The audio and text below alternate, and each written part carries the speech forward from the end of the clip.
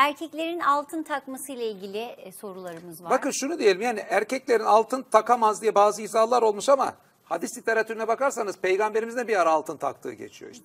İşte onu sonradan çıkarttı şeklinde tevil etmek istemişler. Şuna bakmak lazım.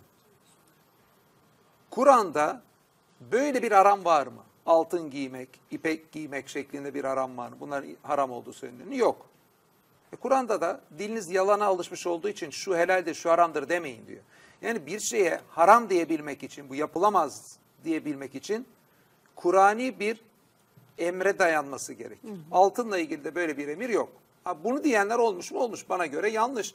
Üstelik peygamberimizin de bir ara altın giydiğiyle ilgili ifadeler var.